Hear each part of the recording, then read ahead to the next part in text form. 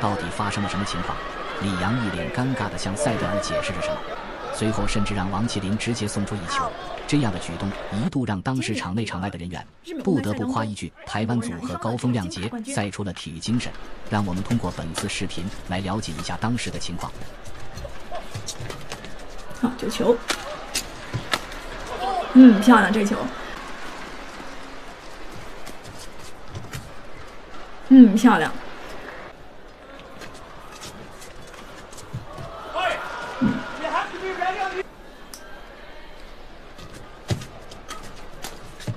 嗯，漂亮！这一球直接稍微有一些应接不暇，这一盘杀球杀的好。嗯，连续两拍啊，德国选手。嗯，漂亮，正手区的空档位置。嗯，漂亮。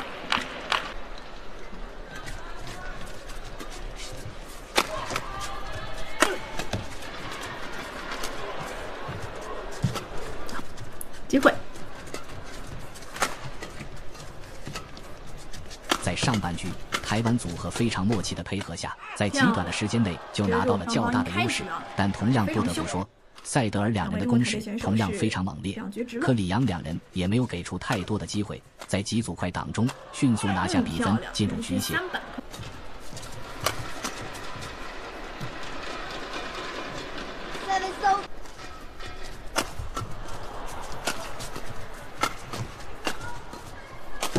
嗯，漂亮！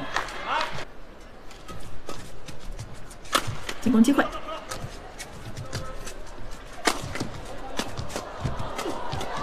哎呦，漂亮！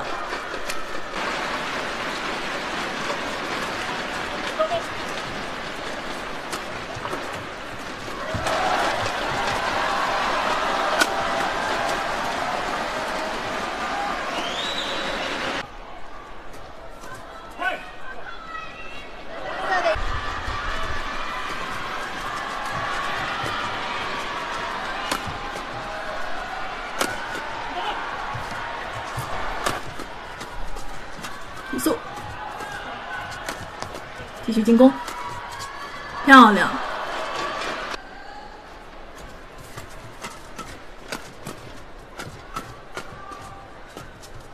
进攻转换是非常有效的。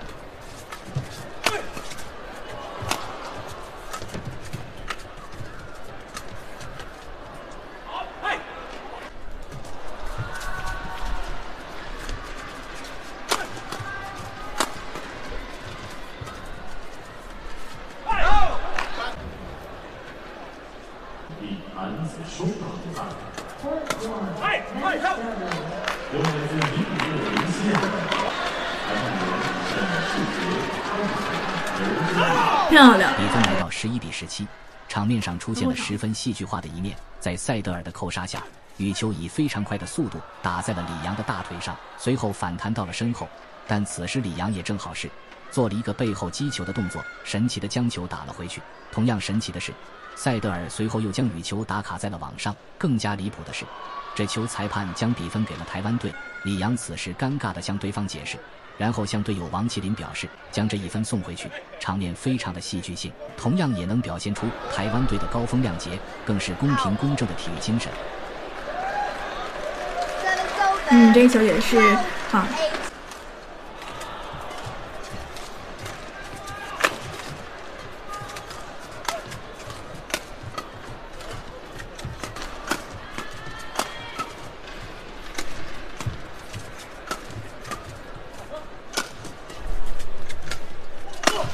漂亮，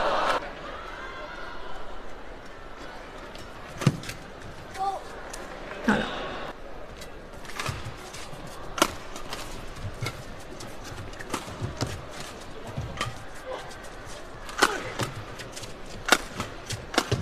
嗯，防的非常好，去，嗯，漂亮。在经历了一波小意外后，双方迅速调整状态。台湾队率先到达了第一局的局点，德国队在守住两个局点后，自身的失误将最后一分送给了台湾队。这样，台湾金牌组合就带着一分的优势进入到第二局的比赛。好的，小亚，嗯，漂亮！这球，这对中国台北组合的中前半场这种停车快档，好，球出边线。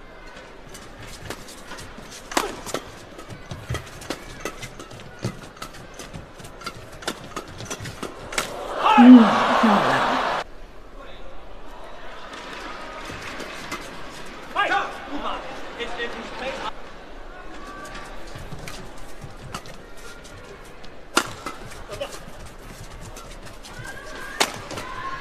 哎呀！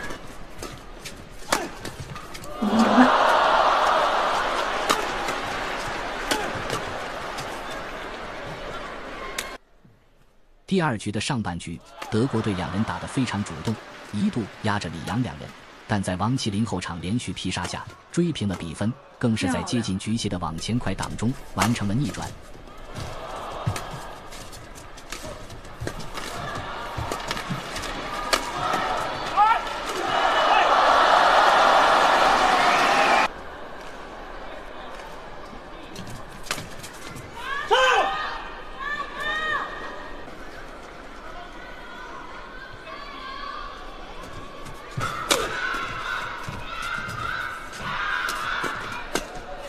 嗯，漂亮！往前连续两板扑杀。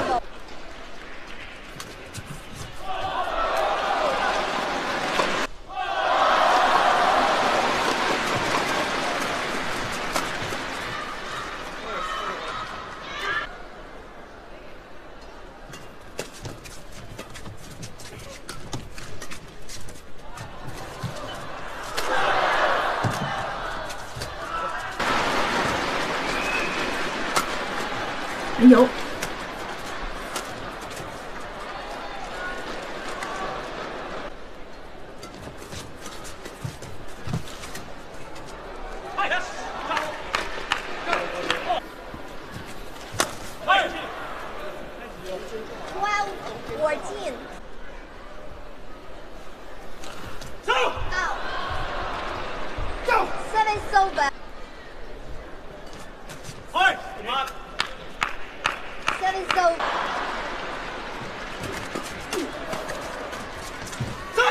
漂亮，手其实非常不利。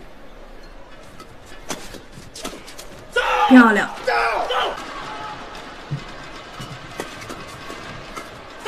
漂亮。下半局，台湾金牌组合打得非常漂亮，在快速的对抗中依旧有着一定的稳定，同时临场的应变，多次的骗过了德国组合。漂亮。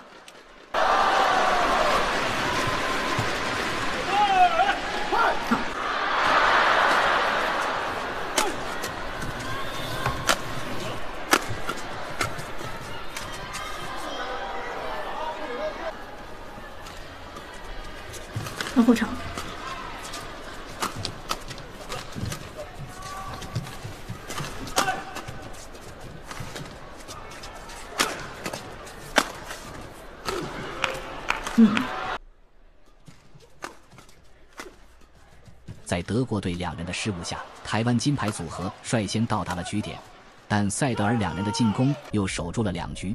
在最后，李阳后场持续进攻下，终于是拿下了最后一局，成功晋级下一轮。球迷朋友们，你们怎么看呢？